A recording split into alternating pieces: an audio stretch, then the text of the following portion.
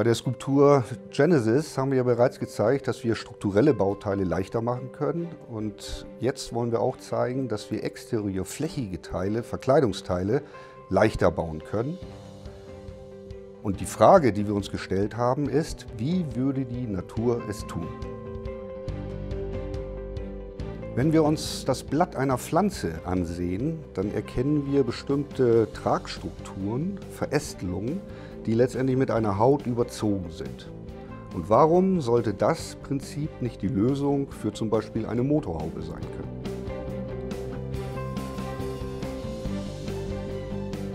Der Trick dabei ist, wenn wir die Motorhaube nicht als Blechteil, sondern als Volumenteil äh, sehen, dann könnten wir das Material entkernen, was eigentlich für dynamische und statische Lastfälle nicht benötigt wird.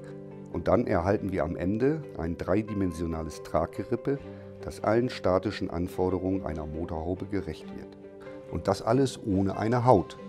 Das haben wir topologisch gerechnet.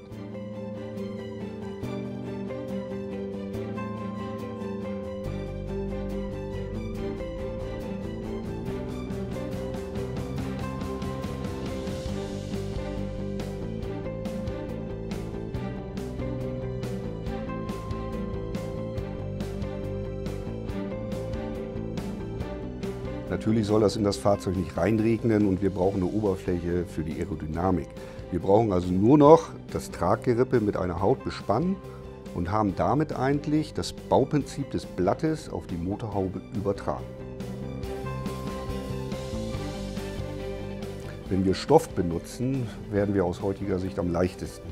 Es gibt Stoff, der 19 Gramm pro Quadratmeter wiegt Normales Kopierpapier liegt bei etwa 80 Gramm pro Quadratmeter. Wir werden also viermal leichter als das Papier. Gesucht haben wir dann also einen wetterbeständigen und dehnbaren Stoff und haben in Jack Wolfskin einen Outdoor-Spezialisten gefunden, der spontan mit dabei war. Dankeschön, Jack Wolfskin.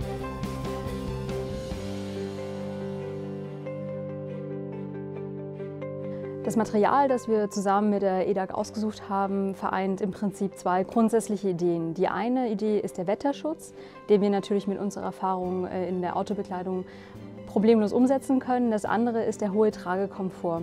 Und äh, dadurch, dass dieses Material über das bionische Gerüst des Fahrzeugs gespannt werden sollte, musste es natürlich auch eine entsprechend hohe Elastizität aufweisen und mit sich bringen. Und insofern war eigentlich sehr schnell klar, dass wir das Material, das wir suchen, genau den Anforderungen unserer Textifor Softshell Range entspricht. Und somit äh, konnten wir die Auswahl der Materialien sehr schnell eingrenzen. Die Stoffbespannung hilft uns natürlich auch, die Kernaussage des Fahrzeugs sichtbar zu halten, weil wir den Stoff von hinten durchleuchten können und dabei die bionische Unterstruktur tatsächlich sichtbar wird und wir darüber hinaus das Konzept wunderbar lichttechnisch inszenieren können.